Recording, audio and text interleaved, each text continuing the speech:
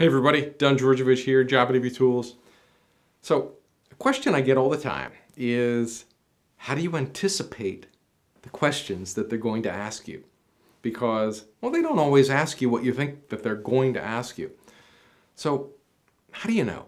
I mean, you can search all over the internet. You can find all kinds of questions. I even have a whole book of them over here, the Complete Interview Answer Guide. Tons of questions in here. But are these the ones that they're going to ask you is the question?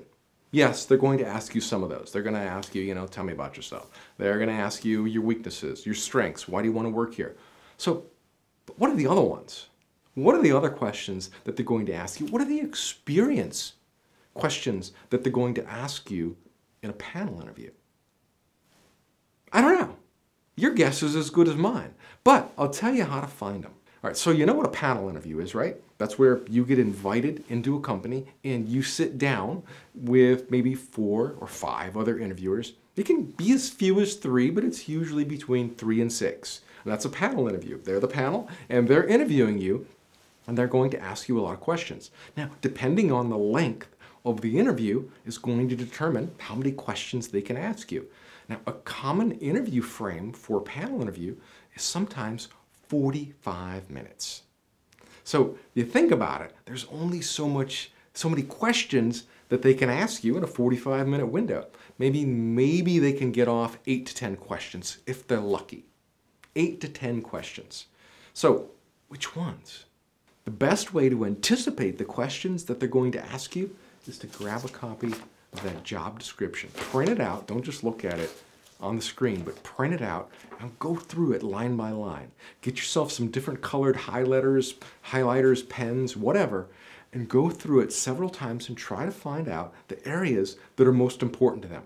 Look for the look for the things that they start repeating. Like maybe they say the same thing, but they say it three different ways. That means it's important to them. So go through line by line, highlight all the key areas that are important to them, and then start thinking about questions around those areas because that's what they're going to touch on. Because when they express themselves so deeply in the job description and they keep repeating things, those are problem areas for them. Those are areas of importance. And they're looking for people with those skills or those qualities or that experience. And what you want to do, it's, it's, it's like a, it's a roadmap, it's a blueprint to the questions that they're going to ask you in the interview. And then all you have to do is just think about, oh, well, this is important to them. Think about questions around that. Think about your experience, how your experience has prepared you to solve some of the problems that they have. And then you're golden. You are golden. You'll be able to answer anything that comes your way. And, and you really won't even have to prepare for specific questions because once you start thinking about all of their problems, all of their pain points, all of their struggles, all of their goals, and you align your experience to that, you're, you're gonna, you've, you've answered every, you're in a position to answer every question that they could possibly ask you. It's as simple as that. So before your next interview, print that job description. That's the blueprint. That's your golden ticket. That's got all the details. Go through it line by line and pick out all the pain points. Figure out questions around that. That's it. That's all they're doing. Seriously. That's all the employer's doing. That's why they wrote that job description. That's a reflection of what they feel and what they're looking for. And they're going to ask you questions that are going to uh, help them determine whether you can meet their needs or not. It's as simple as that. Now, before your next interview, make sure that you grab a copy of the complete interview answer guide. Easy download from jobinterviewtools.com. It's like 47 bucks. It's an ebook. Um, you can get the hard copy if you want. It's also available in audio and video. It's going to teach you how to answer all of those questions that they're going to ask you. Now, they're not going to ask you every question in this book. It happens sometimes, but not all the time. But you're probably going to get 30 to 50% of the questions they ask you are going to come right from this book. The other, you know, uh, 30, 40% of the questions are going to come from the job description. So when you have this book and you have the job description, you pretty much have 80 to 90% or more of the questions that they're going to ask you.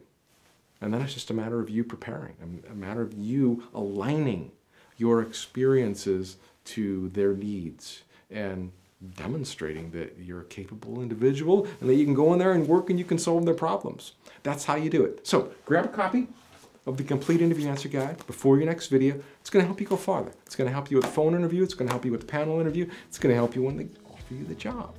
And that's going to help you with the negotiation. So good luck on your next interview, and I will see you in the next video. Bye now. If you're ready to ace your next interview, then don't leave anything to chance. You can't just show up for a job interview and expect to nail it. You know that. You have to give yourself an advantage. So if you'd like to learn more from me than this video, then I encourage you to grab a copy of the complete interview answer guide and prepare yourself to answer interview questions the right way. Inside, you're getting my 20 years of interviewing and hiring experience, and I'll teach you what you need to say to employers so they want to hire you. So if it's been a while since your last job interview or you have an interview today, don't spend countless hours figuring out this stuff. Instead, let me take you by the hand and show you how, right now. When you order your copy from jobinterviewtools.com, you're supporting my channel, my message, and job seekers all over the world. And you're getting a book that has already helped over a million people get hired for their number one job. You'll also get direct email access where you can ask me questions and get my personal take on your situation so you'll never be alone during your job search. And finally, if you found this video helpful, then give it a thumbs up and make sure you subscribe to my channel so you get notifications every time I release a new video. And by subscribing, you support me, my message, and this channel, so I'd really appreciate it. Make sure you hit subscribe.